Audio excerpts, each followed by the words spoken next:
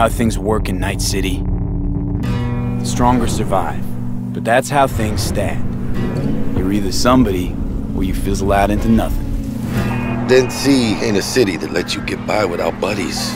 Be very careful, my friend. We are all so far from home.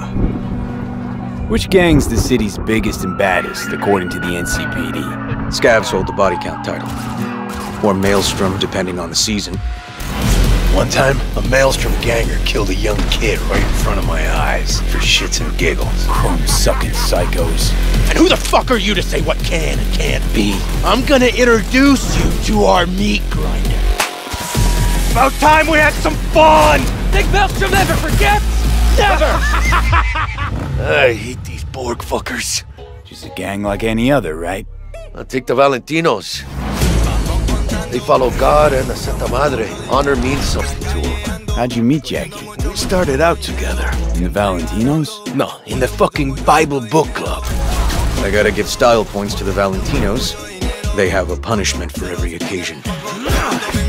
Gangster life, puto! Quick shout out to everyone in Heywood and Santo Domingo. Lately, the Valentinos and 6th Street have had a bigger bone to pick. 6th Street. Why'd they want to wipe you? I don't, can't fucking stand Tinos. Fucking stop! I've dealt with 6th Street before. We do the run, they'll transfer the cred. Come on, let's go before 6th Street shows up. Shot! Shot! Shot! Any more Second Amendment fans in the house, huh? Uh, hate those bastards. Vomit lofty patriotic bullshit all day. Time to bring on the future. Any idea how many attacks from behind the Black Wall we neutralized? If the Voodoo Boys breach the Black Wall, we'll all be fucked. Voodoo Boys? Urban myth, I thought. Just net runners spooking each other. No such gang. You know, I heard a few things about you. The Voodoo Boys, best runners in town. You do not steal from the Voodoo Boys. I see you, always. For them, Pacifica's just Haiti 2.0. Their own island, cut off from the rest of the city.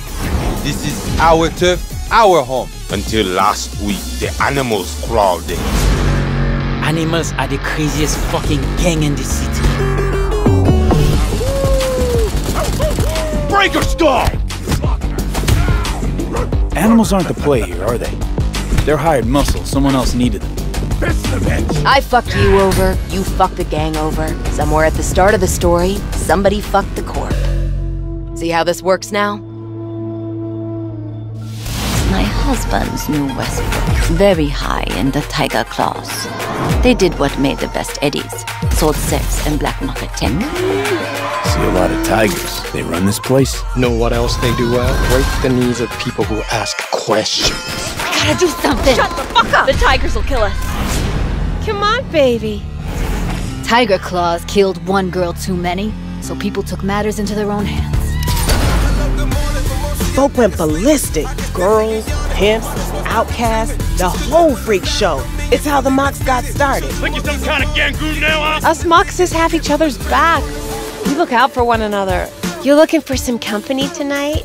How'd you hook up with the Mox? I thought Susie and the gang could really change something in this city. Moxes and nomads don't seem so different. Both seem to yammer a lot about community, solidarity. Tell me about the Badlands. Not much going on out here, huh? Au contraire. This is an ecosystem. Nomads, Raffen Shiv, corporations, and drifters, they form a complete whole. Remove one part, the delicate balance topples. Here in the Aldecaldos, it all stays in the family. Classic dilemma. What comes first? Family or the outside world?